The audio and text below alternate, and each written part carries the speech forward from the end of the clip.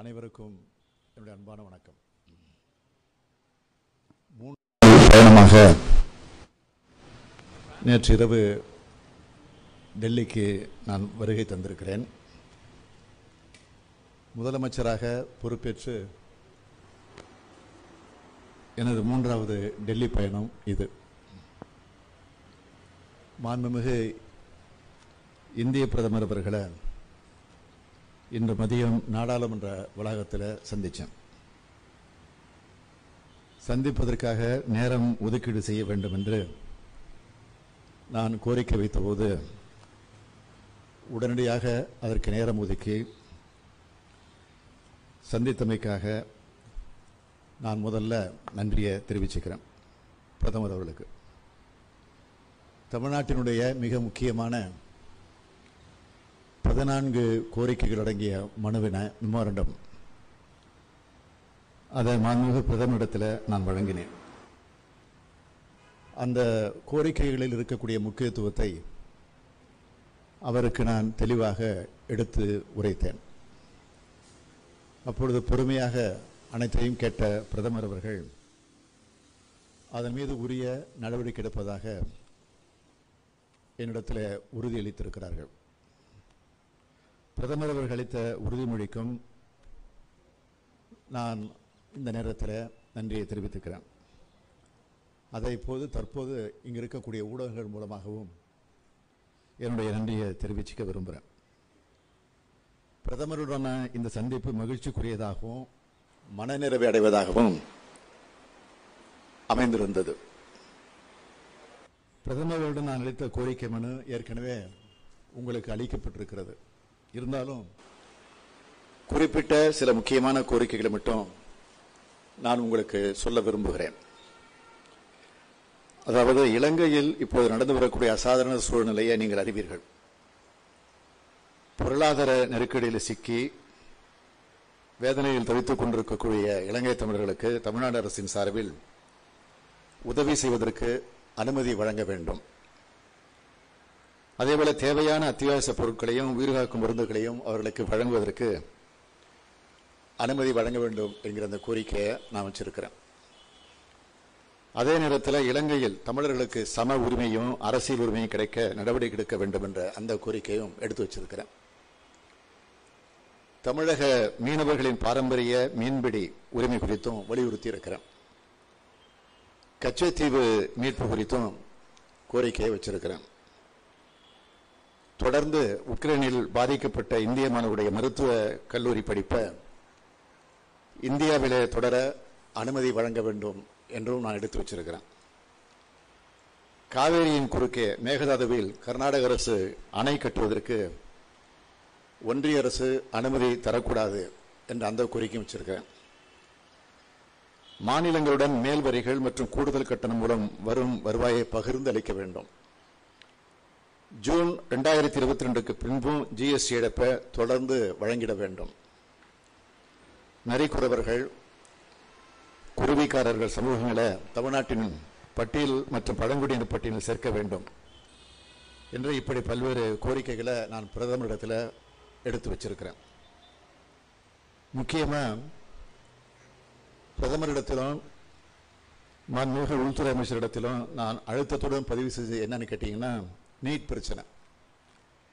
NEET தேர்விலிருந்து விலக்கு கேட்கும் சட்ட முன்வடிவை தமிழ்நாடு சட்டமன்றத்தில் நிறைவேற்றி ரெண்டாவது முறை ஆளுநருக்கு தமிழக ஆளுநருக்கு நாங்கள் அனுப்பி வச்சோம்.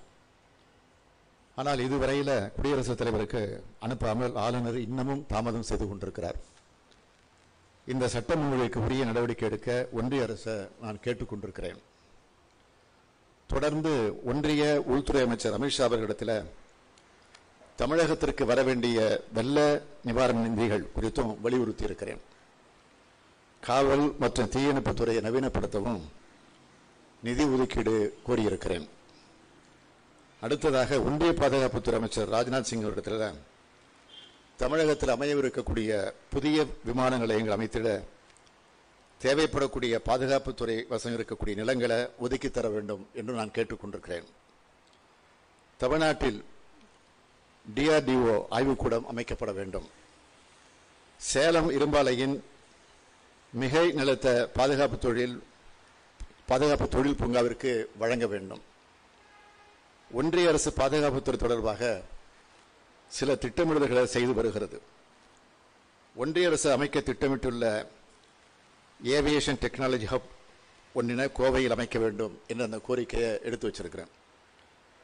ஒன்றிய நெடுஞ்சாலைத்துறை அமைச்சர் நிதின் கட்கரி அவர்களை பொறுத்த வரைக்கும் பல்வேறு கோரிக்கைகளை எடுத்து வச்சிருக்கிறேன் முக்கியமாக சொல்லணும்னா சென்னை கன்னியாகுமரி தேசிய நெடுஞ்சாலையை ஆறு வழிச்சாலையாக ஆக்கவும் சென்னை மதுரை வாயில் உயர்மட்ட சாலை ஸ்ரீபெரும்புதூர் வர நீட்டிக்கவும் கோரிக்கை வச்சிருக்கிறேன் தாம்பரம் செங்கல்பட்டு வர உயர்மட்ட பாலம் அமைக்கப்பட வேண்டும். மாநிலத்தில் நிலுவையில் உள்ள தேசிய நெடுஞ்சாலை திட்டங்களை விரைவில் அறிவிக்க வேண்டும் என்றும் கோரிக்கை வச்சிருக்கிறேன். என்னுடைய இன்றைய சந்திப்பை பொறுத்த வரைக்கும் மாண்புமிகு பிரதமர் மாண்புமிகு உள்துறை அமைச்சர் மாண்புமிகு பாதுகாப்புத்துறை அமைச்சர் மாண்புமிகு நெடுஞ்சாலைத்துறை அமைச்சர் ஆகியோருடைய சந்திப்புகள் மனநிறைவளிப்பதாக அமைந்திருந்தன. எங்களின் உரையாடலின் போது மாண்புமிகு நிதின் கட்கரி அவர்கள் தமிழ்நாட்டின் தொழில் வளர்ச்சியை கருத்திலே கொண்டு நெடுஞ்சாலைத்துறையில் அதிக அளவிலான திட்டங்களை செயல்படுத்த இருப்பதாக அவரே கூறினார். அதேபோல் மாண்புமிகு ராஜ்நாத் சிங் அவர்கள் நாட்டின் பாதுகாப்புத்துறை தொழிற்சாலைகள் துவங்குவதற்கு தமிழ்நாடு தான் உகந்த மாநிலம் மாநிலமாக திகழ்வதாக பாராட்டி அதை எங்களிடத்தில் எடுத்துச் சொன்னார். நான் இன்று வைத்த கோரிக்கைகளை வலியுறுத்தி எங்களுடைய நாடாளுமன்ற உறுப்பினர்களும் நாடாளுமன்றத்தில் பல முறை பேசியிருக்கிறாங்க தொடர்ந்து மீண்டும் அதை வலியுறுத்துவார்கள் என்பதையும் உங்கள் மூலமாக தமிழக மக்களுக்கு நான் தெரிவித்துக் கொள்கிறேன். நாளைய தினம் மாண்புமிகு நிதியமைச்சர் நிர்மலா சீதாராமன் அவர்களையும் மாண்புமிகு வர்த்தகம் மற்றும் உணவுத்துறை அமைச்சர் பியூஷ் கோயல் அவர்களையும் நான் சந்திக்க இருக்கிறேன். அதற்கான நேரத்தை அவங்க கொடுத்திருக்கிறாங்க. தமிழகத்துக்கான கோரிக்கைகளை நிச்சயம் அவர்களிடத்தில் நான் எடுத்து வைப்பேன். அதேபோல் டெல்லி மாடல் ஸ்கூல் மற்றும் மருத்துவமனை ஒன்றின நாளைய தினம் நான் பார்வையிட இருக்கிறேன். அப்பொழுது மாண்புமிகு டெல்லி முதல்வர் அவர்களும் என்னோடு வருவதாக சொல்லியிருக்கிறார். அவரோடு சேர்ந்து நான் அதை பார்வையிட இருக்கிறேன். அதைத் தொடர்ந்து ஏப்ரல் ரெண்டாம் நாள் மாலையில் அண்ணா கலைஞர் அறிவாலய திறப்பு விழா நிகழ்ச்சி நடைபெறவிருக்கிறது. இந்த நேரத்தில் நான் உங்களையும் கேட்டுக்கிறேன். அனைவரும் அந்த நிகழ்ச்சியிலே கலந்து கொண்டு சிறப்பிக்க வேண்டும் என்ற அந்த அன்பான வேண்டுகோளை வச்சு முடிச்சுக்கிறேன்.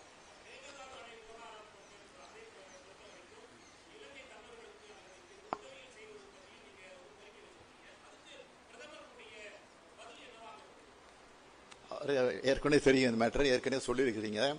இப்பவும் வலியுறுத்தி இருக்கிறீங்க அது தொடர்ந்து நாங்கள் ஃபாலோ பண்ணி எது நியாயமோ அதை செய்வோம் அப்படிங்கிற உறுதியை கொடுத்துருக்கிறார். வணக்கம். வணக்கம். வெங்கட்ராமன் தினமலர் வெங்கட்ராமன் சார். சார் உங்களுக்கு எல்லாருக்கும் தெரியும் உங்க உயிருக்கு வந்து தமிழ் பத்திரிகையாளர்கள் எந்த ஒரு பாதிப்பும் இருக்காதுன்னு உங்களுக்கு தெரி- நல்லாவே தெரியும். அப்படி இருந்தும் ஆட்சி மாறினாலும் காட்சிகள் மாறவில்லைங்கிற போல நம்ம தமிழ்நாடு காவல்துறை பத்திரிகையாளர்களை இவ்வளவு மோசமா நடத்துவாங்கன்னு நாங்க யாருமே எதிர்பார்க்கல. நாங்க உள்ள உங்களை சந்திக்கிறது வரத்து கூட எங்களுக்கு அனுமதி கொடுக்காம நாங்க டார்ச்சர் ஏழு இடத்துல டார்ச்சர் பண்ணப்பட்டோம். இது உங்க கவனத்துக்கு கொண்டு வரோம். நீங்க தயவு பண்ணி தமிழ் பத்திரிகையாளர் உரிய மரியாதை அவங்களை இருக்கணும். உங்களை கே- ஒண்ணு கேட்டுக்கொள்றேன். இல்ல. ரெண்டாவது வந்து சார் இல்லை முதல்ல முதல்ல அதுக்கு பதில் சொல்லிடுறேன். நான் காலையிலேருந்து வந்ததுலேருந்து மதிய உணவு கூட நான் தங்கி இருக்கக்கூடிய இந்த தமிழகத்துக்கு தமிழக இல்லத்துக்கு வராமல் அங்கேயே நாடாளுமன்ற வளாகத்துக்குள்ளேயே உணவு அருந்திட்டு எல்லாரையும் பார்த்துட்டு வரதுக்கே மணி அஞ்சு மணி ஆகிடுச்சு உங்களுக்கு தெரியும். இந்த சூழலில் அது எப்படி நடந்தது எனக்கு தெரியல. அப்படி இருந்ததுன்னா அது தவறு வருத்தப்படுறேன். அதுக்கு உரிய ஒரு முறையான விளக்கத்தை கேட்பேன் நானும். ரெண்டாவது இன்னொரு கேள்வி ஒன்னாவது கேள்வி என்னன்னாக்க டெல்லி நீங்கள் வந்து தமிழ் மக்களுக்கு தமிழர்களுக்கு நாடுபுறம் இருக்கிறவங்களுக்கு பாதுகாவலராக இருக்கீங்க. டெல்லியில் ஏழு தமிழ் பள்ளிக்கூடங்கள் இருக்கு சார். அந்த தமிழ் கல்விக்கூடங்களை படிக்கிற தமிழ் குழந்தைகளோட கல்வி தராதரம் இப்போ கேள்விக்குறியாக இருக்குது கடந்த ஆட்சி காலத்துல அந்த பள்ளிக்கூடத்துக்கு அம்மா பிளாக் கட்டுறதுக்காக பல கோடி ரூபாய் பணம் ஒதுக்கப்பட்டு அதுல பல விதிமுறைகள் நடந்ததா தெரிய தகவல் தெரிவிக்கின்றன. அது குறித்து ஏதாவது விசாரணை பண்ணுவீங்களா?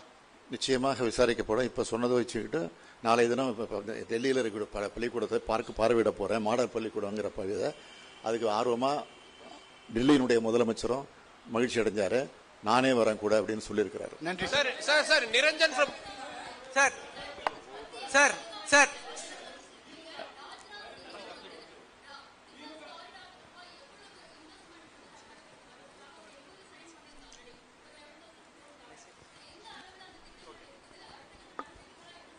இல்ல அவர் சொன்ன அவர் நான் இதெல்லாம் இதெல்லாம் பற்றி அவர்கிட்ட கேட்டப்போ அதெல்லாம் உரிய நடவடிக்கை எடுக்கப்பட்டிருக்கு. அந்த அதிகாரிகளையும் அழைச்சிட்டு அந்த கூட்டத்தில் கலந்துக்கிட்டு என்னென்ன செஞ்சுட்டு இருக்கோங்கிறத தெளிவாக சொல்லியிருக்கிறாங்க. விரைவில் எல்லா பணிகளும் முடிச்சு தரதா உறுதியும் கொடுத்துருக்கிறார். சார் நிரஞ்சன் புதிய தலைமுறை சார். சார் ஒரு முக்கியமான இன்னைக்கு விஷயம்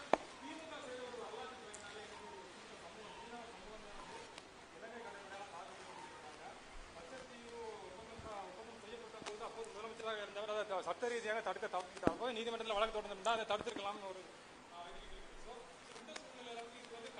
தொடர்ந்து கொண்டே இருக்கிற ஒரு இதாக இருக்குது ராஜாங்க ரீதியாகவும் நடவடிக்கை எடுக்க முடியலை அவங்க இலங்கையை கட்டுப்படுத்த முடியலை. ஸோ இந்த சூழ்நிலையெல்லாம் வந்து சர்வதேச நீதிமன்றத்தை ஏன்னா இது நாடுகளுக்கு இடையான பிரச்சனையா மாறிடுச்சு இப்போ. இந்திய இலங்கை பிரச்சனையா மாறிடுச்சு. மத்திய அரசு இதுல வந்து எந்த விதமான முயற்சி செய்யற மாதிரி தெரியல. சோ இதுல வந்து சர்வதேச நீதிமன்றத்தை நாடுவதற்கு வாய்ப்புகள் இருக்கா? இது தொடர்பாக சட்ட ரீதியாக ஏதாவது ஆலோசனைகள் மேற்கொள்ளப்பட்டிருக்கான்னு சொல்லுங்க. நிச்சயமா ஏற்கனவே இது சட்டம் சட்டமா சட்ட ரீதியாக நாங்கள் ஆலோசனை செஞ்சுக்கிட்டு இருக்கிறோம். அது தொடரும். அதற்கான முயற்சியிலும் இல்ல அதற்கான முயற்சிகளை எடுப்பதற்காக தான் இன்னைக்கு பிரதமரிடத்தில் அதை வலியுறுத்தி சொல்லியிருக்கிறோம். சார் இப்ப இலங்கையில ஏற்பட்டிருக்க நெருக்கடியினால அங்கிருந்து இலங்கை தமிழர்கள் வந்து மீண்டும் அகதிகளா இங்க வர ஆரம்பிச்சிருக்காங்க. சார் ஒரு நிமிஷம்.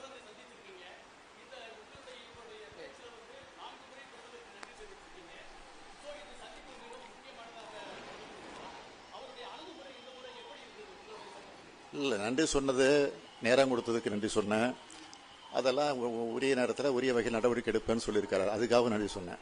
செஞ்சு முடிச்சிட்டதுக்காக நன்றி சொல்லலை. செஞ்சு கொண்டு இருக்கிறத உறுதி கொடுத்துருக்கிறாரு. அதுக்காக நன்றி சொன்னேன்.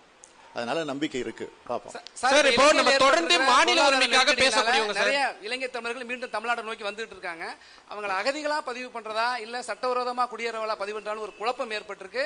தமிழ்நாடு அரசும் நம்ம மத்திய அரசாங்கத்திட்ட கேட்டிருக்காங்க. என்ன மாதிரி பதிவு செய்யலாம்னு விளக்கம் கேட்டிருக்காங்க. அதுல என்ன மாதிரி இப்ப அவங்க பதில் கொடுத்திருக்காங்க. வர்றவங்களுக்கு என்ன மாதிரியான ஒரு பாதுகாப்பு இங்க ஏற்பாடு பண்றோம். நான் தான் சொல்லி அதான் எங்க கொடுத்த கோரிக்கையில் அது அடங்கியிருக்குல்ல. அந்த கோரிக்கைகளெல்லாம் பரிசீலிக்க தான் சொல்லியிருக்கிறாங்க. ஏற்கனவே இலங்கையில் இருந்து வந்த அகதிகளுக்கு அகதிகள் என்ற பெயரில் தான் சூட்டப்பட்டிருந்தது. ஆனால் அதை நாங்கள் வந்ததுக்கு பிறகு அதை மாற்றி அயல் அயல் அயல்நாட்டிலேருந்து வந்தவங்க வெளி வெளிநாட்டிலேருந்து வந்தவங்க பேரை மாற்றி அவங்க புலம்பெயர்ந்த புலம்பெயர்ந்த மக்கள் புலம்பெயர்ந்த தமிழர்கள்னு சொல்லி நாங்கள் அவங்களுக்காக நிதியை ஒதுக்கி வசதி எல்லா வசதிகளும் ஏற்படுத்தக்கூடிய வகையில் சூழ்நிலை ஏற்படுத்தியிருக்கோம். அது நடந்துகிட்டு இருக்கு. சார் இப்போ நம்ம தொடர்ந்து மாநில உரிமை பத்தி பேசக்கூடிய ஸ்டேட்டா இருக்கிறோம் சார்.